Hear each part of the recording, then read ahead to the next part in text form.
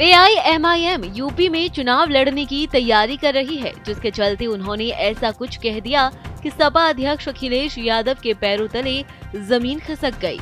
मामला विस्तार से बताते हैं। अखिलेश यादव की मुश्किलें कम होने का नाम नहीं ले रही हैं। पहले जयंत चौधरी ने उनका साथ छोड़ा, फिर स्वामी प्रसाद मौर्य, सलीम शेरवानी और मनोज पांडे जैसे नेता बागी हुए।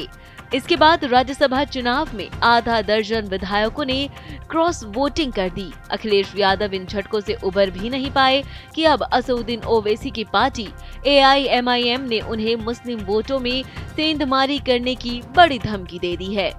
ओवैसी की पार्टी ने लोकसभा चुनाव में अखिलेश यादव से समझौते की इच्छा जताते हुए पाँच सीटों की डिमांड कर दी है।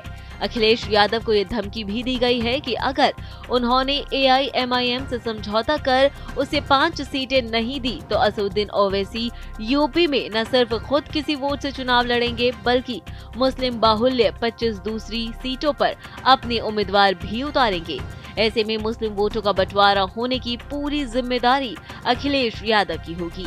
दावा ये भी किया जा रहा है कि ओवैसी ने हैदराबाद के साथ ही यूपी में भी चुनाव लड़ने वाली सीट तय कर ली है। हालाँकि सीट का नाम अभी सार्वजनिक नहीं किया गया है।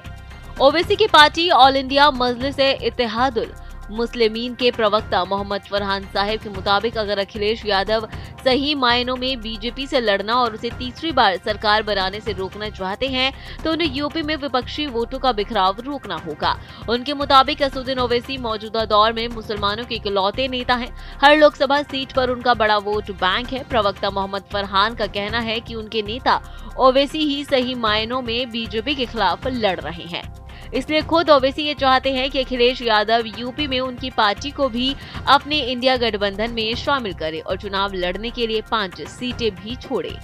प्रवक्ता फरहान के मुताबिक जिस तरह महाभारत के युद्ध में पांडवों ने सिर्फ़ पाँच गाँव मांगे थे, उसी तरह ओवैसी यूपी में 80 में से सिर्फ़ पाँच सीट चाहते हैं। अगर अखिलेश यादव इसके लिए राज़ी होते हैं तो ठीक, नहीं तो उन्हें सबक सिखाने के लिए असुद्दीन ओवैसी हैदराबाद के साथ ही यूपी की एक सीट से भी चुनाव लड़ेंगे। उनका कहना है कि ऐसी सूरत में ओवैसी अकेले ही ताल नहीं ठोकेंगे, बल्कि यूपी में मुस्लिम बाहुल्य 25 दूसरी सीटों पर भी अपने उम्मीदवार उतारेंगे।